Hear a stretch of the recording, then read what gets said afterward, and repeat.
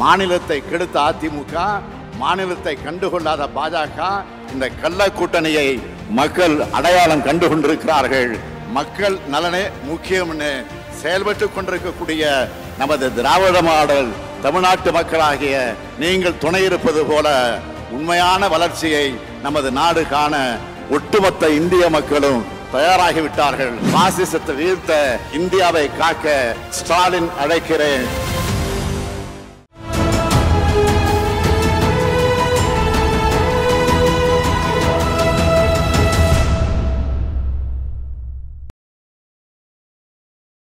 தமிழர் நேயர்களுக்கு அன்படக்கம் நம்மோடு மூத்த பத்திரிகையாளர் திரு எஸ்பி லக்ஷ்மணன் இணைந்திருக்கிறார். பாருங்களோடு பேசலாம். சார் வணக்கம். வணக்கம். எதிரணியில் பாஜக கூட்டணி எல்லாத்தையும் உறுதி செஞ்சிருக்காங்க. ஓ பன்னீர்செல்வம் அவர்கள் ராமநாதபுரம் தொகுதியில் நிற்க போறதா அறிவிச்சிருக்காரு. எப்படி பாக்குறீங்க? இல்லை நானே நிற்கிறேன்னு சொல்கிறதுக்கு ஒரு தில்லு வேணும். ஓபிஎஸோட அந்த துணிச்சலை நான் ஒரு பக்கம் பாராட்டுவேன்.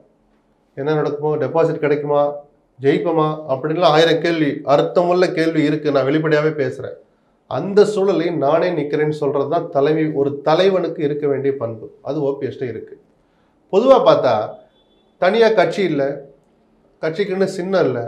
இப்படிப்பட்ட நேரத்தில் நாங்கள் தேர்தலையும் புறக்கணிக்கிறோம்னு ஓபிஎஸ் முடிவு எடுத்தாருன்னா ரொம்ப புத்திசாலித்தனமான முடிவாக இருந்திருக்கும். யதார்த்தமான முடிவாகவும் அது இருந்திருக்கும். வாசனுக்கு மூணு அவங்களுக்கு ரெண்டு உங்களுக்கு ஒன்று தானா அப்படின்னு அந்த ஒரு ஒரு எல்லலுக்கும் ஒரு ஆளாகி இருக்க வேண்டாம். யதார்த்தத்துப்படி முடிவெடுத்தார்ட்டும் போயிருந்திருக்கலாம். அதில் ஓபிஎஸ் தவறிட்டார் தான் நான் பார்க்குறேன். அம்மா மக்கள் முன்னேற்ற கழகத்திற்கு ரெண்டு இடம்.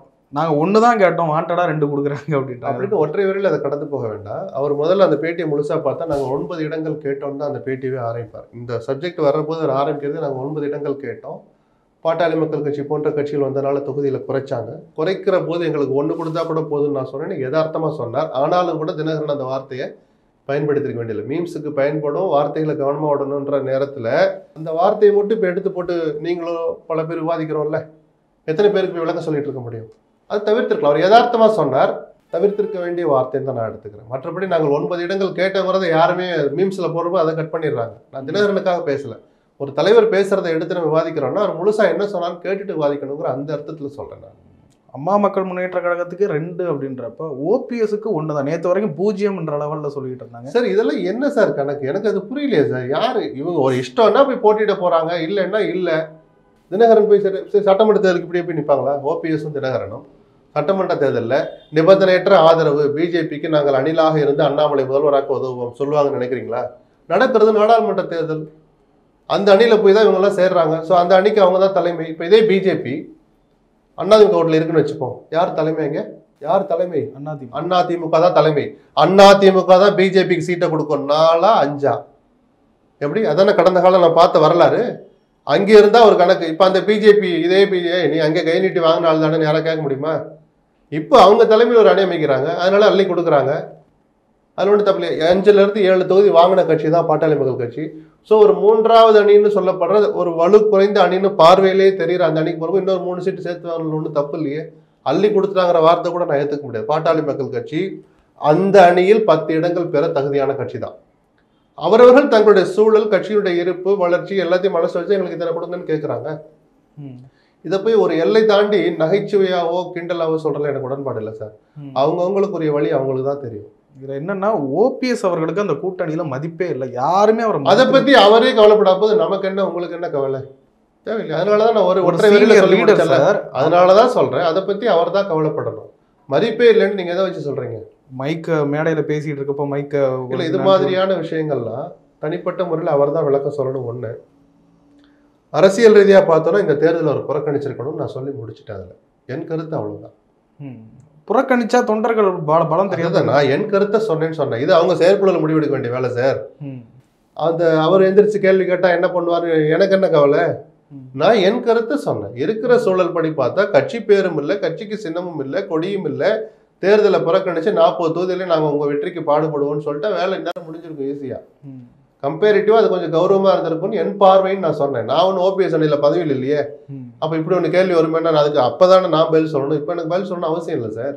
ரெட்டலை எதிர்த்து நிக்கிறாரு ஓபிஎஸ் தப்பு இல்லையே. என்ன இருக்கு? தினகரன் தான் ரெட்டலை ஏற்றிருந்தார் அதுக்காக ஒரு விரோதின்னு இவர் சொல்லுவீங்களா அதிமுகவே தலைவரா இருந்தவர் சார். ஆமா. அதனால? ரெட்டலை எதிர்த்து அந்த ஒரு பேர் வரும்ல. இப்ப ஒரு அது அதிமுக மீட்கிறதுக்கான போராட்டம் தானே ஓபிஎஸ் சொல்றார். ம். அப்ப ரெட்டலைக்கு நீங்க இன்னொரு வார்த்தை சொன்னீங்களா அந்த கேள்வி திருப்பி கேளுங்க. அதிமுகவுக்கு தலைமை பொறுப்பில் அப்படி தலைமை பொறுப்புல இருந்த கட்சி விட்டு நீக்கினது மட்டும் சரியா இருந்ததா? இந்த கேள்வி அப்போ கேட்டிருக்கணும் அவர்கிட்ட கேட்டிருக்கணும் எடப்பாடி கிட்ட. நான் வாக்குவாதத்துக்காக சொல்லலை. அங்கேயே லாஜிக் இடிச்சிடுச்சு. அங்கேயே துரோகமும் தவறும் நடக்க ஆரம்பிச்சிட்ட போது இனிமேல் மற்ற விஷயங்களுக்கெல்லாம் அர்த்தமே இல்லை இல்ல. ரெட்டலை ஏத்து நிக்கலாம்? எதுக்கே நீக்குனீங்கன்னு கேட்பாங்களா கேட்க மாட்டாங்களா. தலைமை பொறுப்புல இருந்த ஒரு சார்னு இவ்வளவு கரிசனம் காட்டுறீங்களே தலைமை பொறுப்புல இருந்தவர் நீக்கலாமான்னு எடப்பாடிட்ட கேட்டுருக்கணும்ல. அரசியல்ல எல்லாம் தான் மான அவமானம் கௌரவங்கள் அதிகாரங்கள் எல்லாம் கலந்தது அரசியல். இதுல யாரும் விதிவிலக்கு இல்லை. ஆமா பாஜக தலைமையில் அமைஞ்சிருக்கிற அணி எப்படிப்பட்ட ஒரு வலுவோட இருக்குன்னு நினைக்கிறீங்க சார்? நிச்சயமா இரட்டை இலக்கத்தில் நாங்கள் வாக்கு சதவீதம் பெறுவோம்னு சொன்னாங்கல்ல அதை ஈஸியா கடந்துருவாங்க. பத்துங்கிறது இரட்டை இலக்கம் தான் இருபதும் இரட்டை இலக்கம் தான். ரெண்டாயிரத்தி பதினாலில் இதே மாதிரி ஒரு ஏழு கட்சிகள் கூட்டணி வச்சு அமைச்ச போது பிஜேபி தலைமையில் பதினேழு சதவீத வாக்குகளை வாங்கினாங்க. இப்போ அந்த இலக்கை நோக்கி போவாங்க. இருபதை தொட்டாலும் ஆச்சரியம் இல்லை இவங்க பயன்படுத்த போகிற பணபலம் அதிகார பலத்தை வச்சு. அதிகார பலம் என்னன்னா இவங்க பணத்தை இறைப்பாங்க. திமுக பணம் கொடுக்குறதையும் தடுக்க நினைப்பாங்க. அதுதான் அதிகாரம் கொடுக்கறது வேலை. ஐடியை விட்டு ஏவுவாங்க. இடி வரும். இதுதான் அதிகாரத்தை பயன்படுத்துறது. இப்படி சகல அஸ்திரங்களையும் பயன்படுத்தினால் அவர்கள் இருபது சதவீதத்தை நோக்கி பயணிப்பாங்க. அதுல ஓரளவு முக்கால்வாசியை தாண்டுவாங்கன்னு எனக்கு நம்பிக்கை இருக்கு. பாட்டாளி மக்கள் கட்சியோட வருகைக்கு பிறகு பதினஞ்சு சதவீதத்தை தாராளமா தொட வாய்ப்பு இருக்கு. பாஜக கூட்டணி. ஆமா. அதிமுக எப்படி இருக்கும்னு நினைக்கிறீங்க?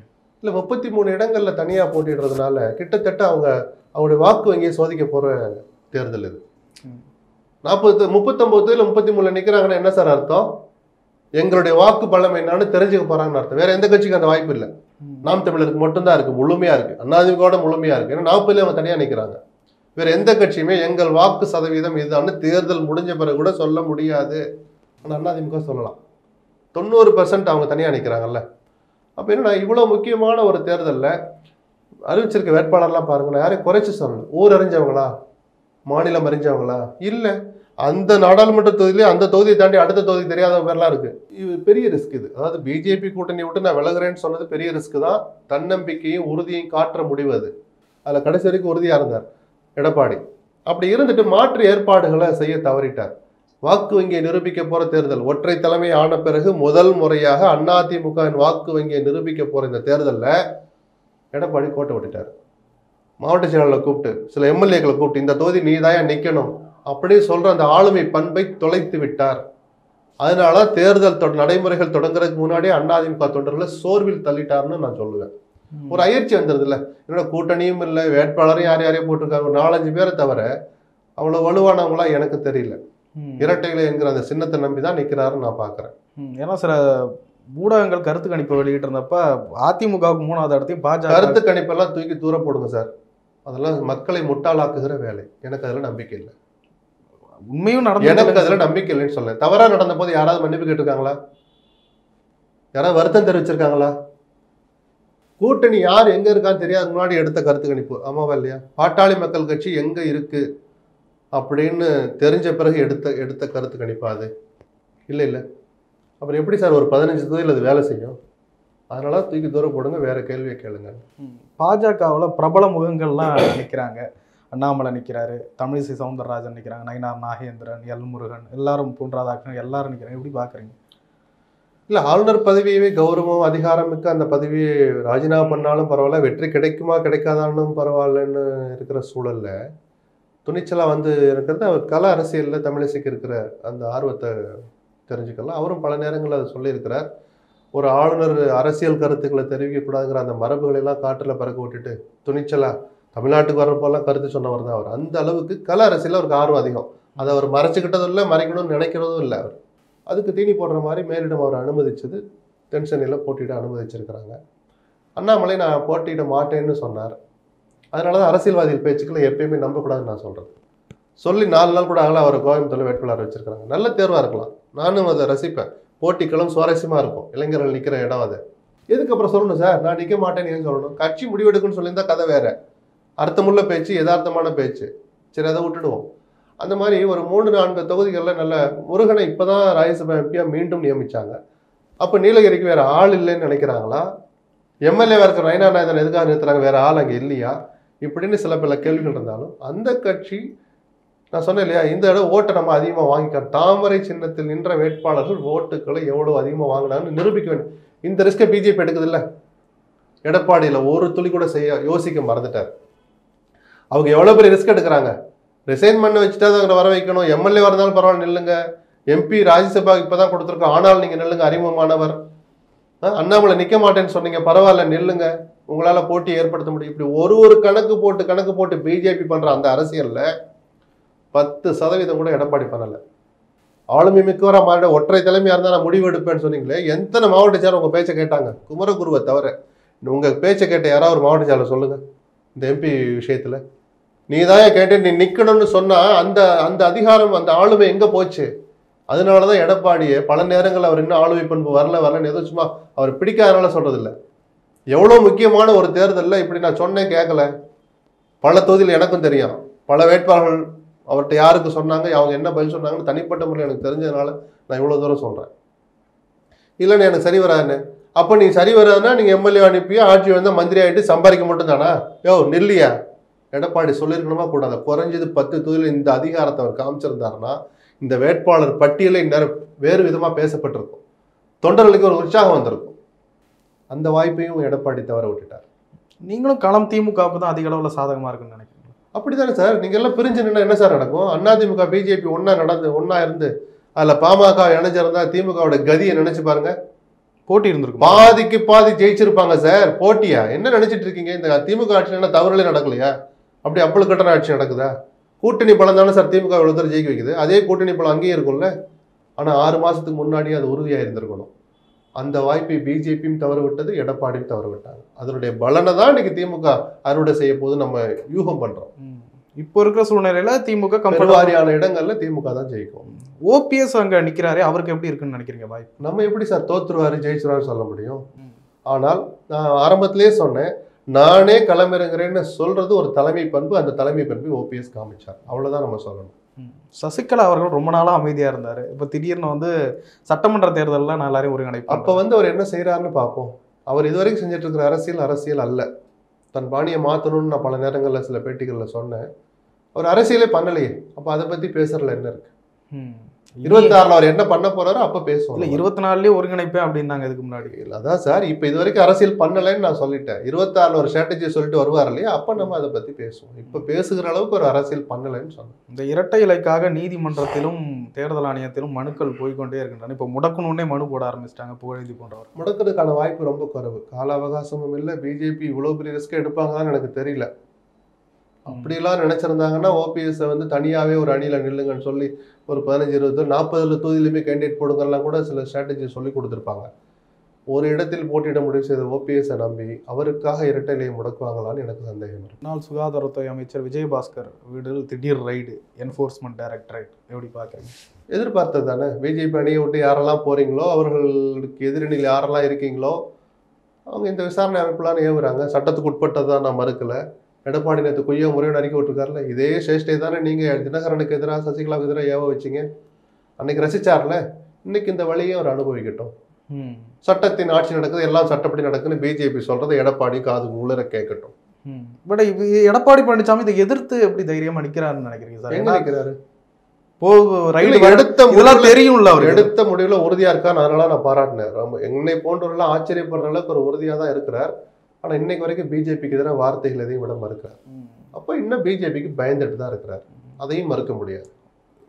குடியுரிமை திருத்த சட்டத்தை கடுமையா கண்டிச்சாரு சார். கடுமையா கண்டிச்சு என்ன பண்ணாரு? இது போட்டாரு பதிவு போட்டாரு. ஓ பதிவு போடுறது உங்களுக்கு சார் நேருக்கு நேர் மாதிரி விமர்சிச்சாரு சார். தொடர்ச்சியான அவருடைய செயல்பாடுகள் அமைஞ்சதுன்னா நம்ம அப்புறம் எடப்பாடி இந்த விஷயத்துக்காக பாராட்டலாம். இந்த நேரத்தில் விமர்சிக்க வேண்டிய நேரத்துல கூட எதிர்ப்பு கருத்துக்களை சொல்ல வேண்டிய நேரத்துல கூட பிஜேபிக்கு எதிராக மோடிக்கு எதிராக வார்த்தைகளை இது வரைக்கும் சொல்லல. தொடர்ந்து சொல்லட்டும் அப்புறம் பேசுவோம். சீமானுக்கு மைக் சின்னம் ஒதுக்கி இருக்கிறது தேர்தல் ஆணையம் எப்படி பாக்குறீங்க இல்ல சோஷியல் மீடியா வளர்ந்துட்ட இந்த காலத்துல சீமானுக்காக வாக்களிப்பவர்கள் படித்தவர்கள் இளைஞர்கள் இளைஞர்கள் தான் பெருவாரியா இருக்கு. தொண்ணூறு சதவீதம் இளைஞர்கள் தான். இந்நேரம் மைக் சின்னம் கொடுத்துட்டாங்கன்னு போய் சேர்ந்திருக்கும். அவருக்கு வாக்களிக்க நினைக்கிற ஏழு சதவீதம் அந்த சராசரியில குறைஞ்சது ஐந்து சதவீதம் பேருக்கு இந்த சில மணி நேரங்கள்லயே மைக் சின்னம்னு தெரிஞ்சிடுச்சு. அதனால நான் சொன்னேன் சீமான் சின்னத்தை பத்தி கவலைப்படணும் அவசியம் இல்லை. ஏன்னா அவர் தனிச்சு நிற்கிறார் ஆட்சியவை ஒரு சீட்டை ஜெயிக்கிற அளவுக்குலாம் அவர் இன்னும் வளரல. அப்படி வளர்ற இடத்துல இருந்தா சின்னத்தை பத்தி அவர் கவலைப்பட்டிருக்கலாம். அவருக்கு என்ன சின்னம் கொடுத்தாலும் அவருக்காக ஓட்டு போடுறவங்க தான் அந்த ஆறு சதவீதம் ஏழு சதவீதங்கிற போது சின்னம் அவருக்கு ஒரு பெரிய தடையா இருக்கு ஒரே ஒரு கேள்வி சார். தமிழ்நாடு அளவில் நிறைய பேசுகிறோம் தேசிய அளவில் எப்படி களம் இருக்குன்னு பார்க்குறீங்க தேர்தல் அறிவிக்கப்பட்ட பிறகு தேர்தல் பத்திரம் தொடர்பான தீர்ப்புகள் வந்த பிறகு பிரச்சாரம்லாம் தொடங்கிட்டாங்க. எப்படி இருக்குன்னு நினைக்கிறீங்க களம்? இல்ல ஓரளவு இவ்வளவு பின்னடைவுகளுக்கு பிறகும் பல மாநிலங்கள்ல கூட்டணி பேச்சுக்களை சுமூகமா முடிச்சிட்டாங்க இந்தியா கூட்டணியினர். மம்தா ஒருவரை தவிர மற்ற எல்லாமே சுமூகமாக தான் போய்கிட்டு இருக்கு இது மட்டுமே போதாதுதான். களத்தில் இன்னும் எந்த அளவுக்கு தீவிரமாக வீரியமாக இறங்கி பண்ணுறாங்க ராகுல் காந்தியை முன் ராகுல் காந்தி தான் முன்னிலைப்படுத்தி ஆகணும். அந்த காங்கிரஸ் கட்சி எப்படி எதிர்வினையாற்றுறது பிஜேபியினுடைய தவறுகளை எந்த அளவுக்கு வெளியில் கொண்டு வர்றாங்க? அப்படி கொண்டு வர விஷயங்களை ஊடகங்கள் எந்த அளவுக்கு காட்டுது? இப்படி பல காரணிகள் இருக்குது பார்க்கலாம். ஆட்சி மாற்றம் நிகழ்வது ஜனநாயகத்துக்கு நல்லது. எப்போதுமே நல்லது. என்ன நடக்குன்னு பார்ப்போம். அரவிந்த் கெஜ்ரிவால் கைது செய்யப்பட்டிருக்கிறார். துரதிர்ஷ்டவசமானது. அவருடைய சட்டப்படி ஒரு தவறு செஞ்சால் யாரும் அதை தடுக்க போகிறதில்ல தேர்தல் நடைமுறைகள் தொடங்கி அவர் இவ்வளவு உறுதியாக இருந்து இந்தியாவுக்குள்ள இருக்கிறார் சீட் ஷேரிங்கை முடிச்சிட்டாருன்னு தெரிஞ்ச பிறகு எப்படியாவது கைது பண்ணணும்னு நினைக்கிறாங்க. நீதிமன்றங்கள் தான் இதுக்கு கடிவாளம் போடணும். இடைக்கால ஜாமீனை கொடுத்துட்டாங்கன்னா அது ஜனநாயகத்தை வலுப்படுத்துறதா நான் பார்க்குறேன். கெஜ்ரிவாலை திருப்பி சிறையிலே கூட போடுங்க. தேர்தல் நடைமுறைகள் முடிகிற வரைக்கும் நாங்கள் ஜாமீன் கொடுக்குறோம்னு சொன்னால் பிஜேபியுடைய இந்த சேஷ்டைகள் ஒரு முடிவுக்கு வந்துடும். சரி நிறைய விஷயங்களை பகிர்ந்து நன்றி சார். நன்றி. மாநிலத்தை கெடுத்த அதிமுக மாநிலத்தை கண்டுகொள்ளாத பாஜக இந்த கள்ள கூட்டணியை மக்கள் அடையாளம் கண்டு கொண்டிருக்கிறார்கள் மக்கள் நலனே முக்கியம்னு செயல்பட்டு கொண்டிருக்கக்கூடிய நமது திராவிட மாடல் தமிழ்நாட்டு மக்களாகிய நீங்கள் துணை இருப்பது போல உண்மையான வளர்ச்சியை நமது நாடு காண ஒட்டுமொத்த இந்திய மக்களும் தயாராகிவிட்டார்கள். பாசிசத்தை வீழ்த்த இந்தியாவை காக்க ஸ்டாலின் அழைக்கிறேன்.